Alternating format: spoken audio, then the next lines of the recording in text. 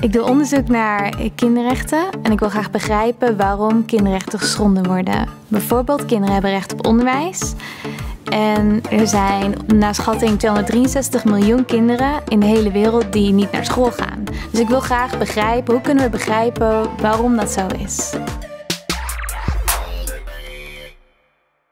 Dat ligt een beetje aan um, de situatie. Uh, het is natuurlijk heel erg afhankelijk van financiering. Een promotietraject is best wel duur. Het kost minstens 100.000 euro uh, voor de hele promotie. En de vraag is dus, waar haal je dat geld vandaan? Soms zijn er posities, dus dan heeft een hoogleraar heeft heel veel geld gekregen voor een project waarbij die ook twee PhD's bijvoorbeeld aan mag nemen. Dus PhD's zijn promovendi. Um, en dan kun je solliciteren op die plek. Maar als je je eigen idee hebt, zoals in mijn geval, en je wil je eigen onderzoek doen, dan moet je zorgen dat je daar financiering voor vindt. Ik heb eerst uh, een aanvraag gedaan bij NWO, maar dat is helaas afgewezen. En toen hebben we bedacht om een crowdfundingactie te doen. Dus we hebben mensen gevraagd om een donatie te, over te maken.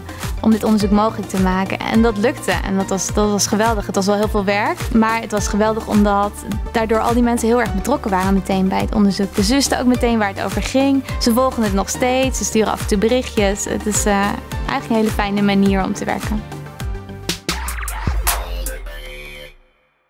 En wat ik probeer te doen en wat anders is in mijn onderzoek dan in veel onderzoek naar kinderrechten, is dat ik probeer om rechten te begrijpen door de ogen van kinderen zelf.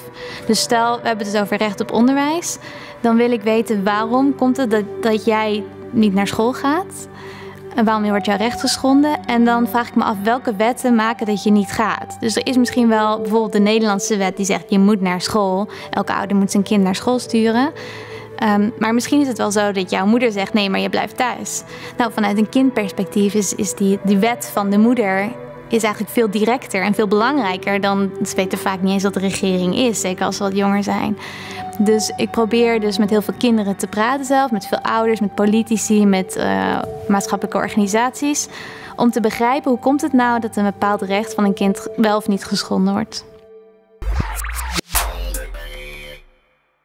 Ik heb Naast dat ik natuurlijk heel veel boeken lees en ook naar rechtszaken kijk en uh, een groot theoriestuk heb opgebouwd in het, uh, in het boek wat ik schrijf, heb ik ook drie verschillende case studies erin zitten waarin ik eigenlijk die theorie test. Dus hoe kun je nou die rechten van kinderen begrijpen? En dat ga ik dan testen.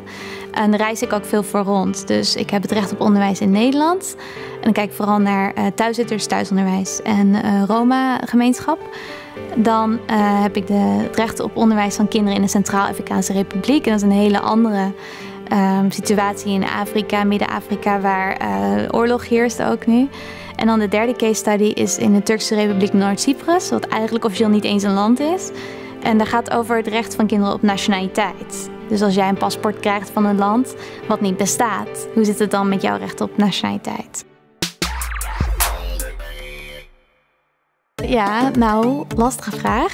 Het, is, het neemt al een heel groot deel van mijn leven in. Het komt ook omdat het ook echt mijn hobby is. En ik ben echt heel erg nieuwsgierig naar hoe dit nou zit. En ik vind het ook nog eens belangrijk en relevant. En, dus het is soms moeilijk om te stoppen met werken.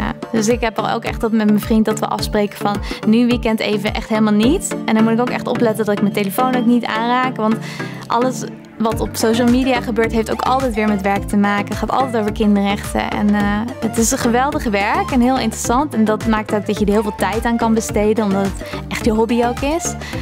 En ik wil ook echt weten hoe het zit. En tegelijkertijd moet je soms wel zorgen dat je ook af en toe wat anders doet in je leven.